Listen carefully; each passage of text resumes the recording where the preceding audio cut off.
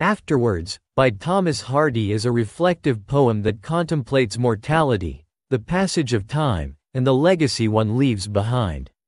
Written in the first person, the poem explores how the speaker hopes to be remembered after death. Hardy uses vivid imagery and natural elements to underscore the themes of transience and remembrance. The poem is structured around a series of conditional statements, each beginning with, when, to frame the time after the speaker's death. This structure reinforces the inevitability of mortality and the continuity of life. The poem opens with the speaker imagining how people will react when he is no longer alive. When the present has latched its postern behind my tremulous stay. The postern, a small gate, symbolizes the passage from life to death, and tremulous stay suggests the frailty of life. The speaker wonders if others will remember him as someone who was keenly aware of the natural world, noticing the evening and the full starred heavens. The second stanza shifts focus to springtime, with its renewal and growth. The speaker hopes that those who come after him will recall how he delighted in nature, particularly, the May month flaps its glad green leaves like wings.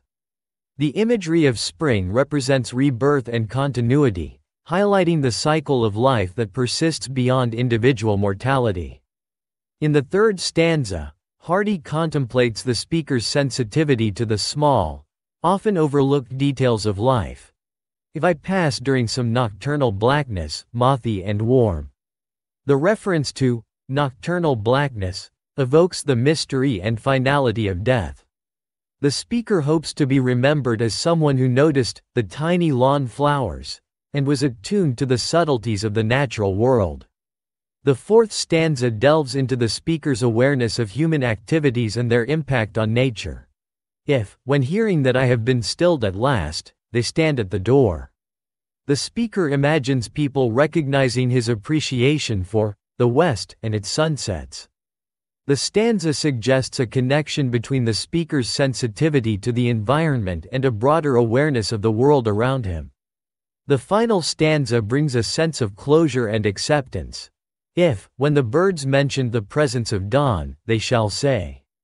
The speaker hopes to be remembered as someone who lived with an acute awareness of the passage of time and the beauty of fleeting moments. The poem concludes with a serene acceptance of death and a hope for a legacy of appreciation for the natural world. Throughout, afterwards, Hardy uses detailed and evocative imagery to convey the speaker's deep connection to the natural world and the transient nature of life.